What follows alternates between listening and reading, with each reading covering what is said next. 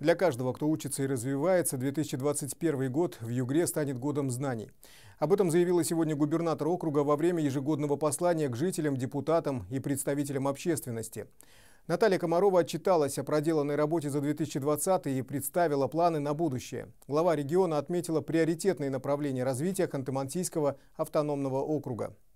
Акцент сделан на помощи югорчанам в пандемию, мобилизацию ресурсов, особенно здравоохранения, Выступление длилось ровно один час.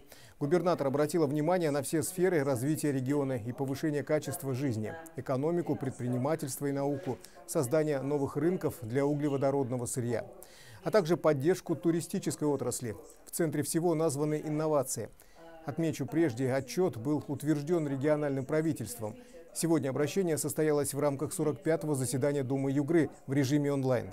Прямая трансляция шла в аккаунтах Натальи Комаровой в социальных сетях в официальной группе «Югра».